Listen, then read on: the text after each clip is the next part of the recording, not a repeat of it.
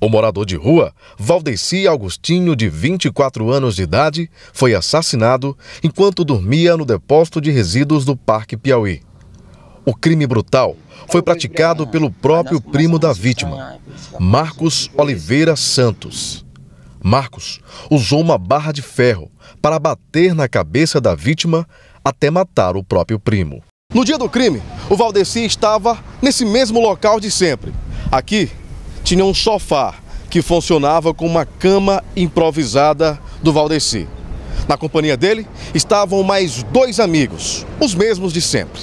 Quando de repente, Marcos, o primo de Valdeci, chegou aqui no local.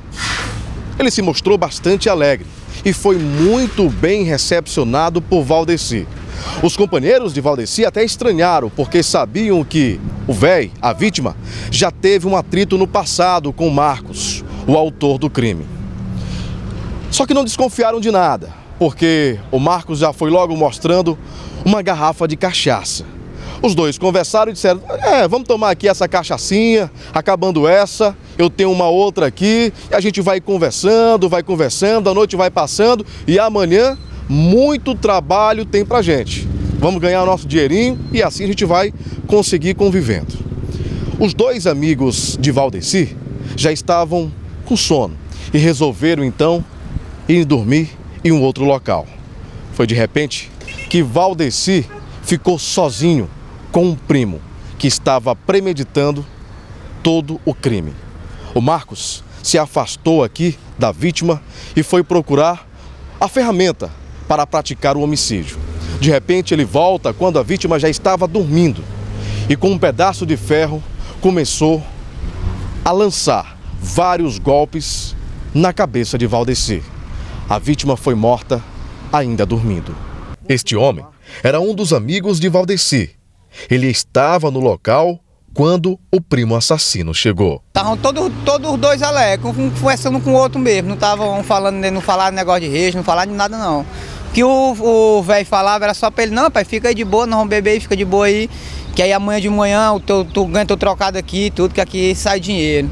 Aí disse, não, pô, vou ficar, pô, vou ficar. Aí eu já via o clima muito assim, eu peguei minhas coisas e saí. Não fiquei aqui não. Você chegou a imaginar que o Marcos estava premeditando matar o velho ou você também não desconfiou não, de nada? Não desconfiei de nada não, só que eu, aquele negócio de bebedeira, aquela zoada, eu querendo dormir, eu fui dormir num lugar mais sossegado, não tivesse zoado e nem bebedeira. Marcos ainda foi no velório do primo, local onde ele foi preso. Ele teve aqui no aqui nessa, nessa comunidade aqui no bairro Santa Luzia, no velório, ajudou a tirar o caixão do carro.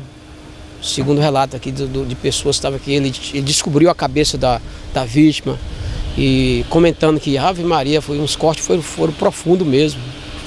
E ficou aqui, fez alguns comentários, passou, chegou pela manhã aqui. Chegou barbudo, cabeludo. Subiu ali para. Depois apareceu já sem barba e, e careca.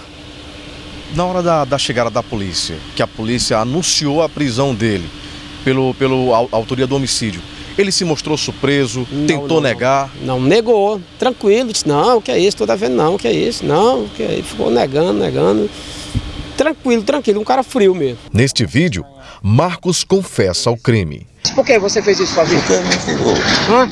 Ele me furou. Ele já tinha furado já no Já. passado já. Hum. Aí você veio pra cá, começaram a beber junto. Ó. Aí depois que ele tava embriagado, Não, nós Não? dois estávamos aqui. tá os dois embriagados. Aham. Aí nós começamos a se estranhar e por isso que aconteceu. o que Foi aconteceu.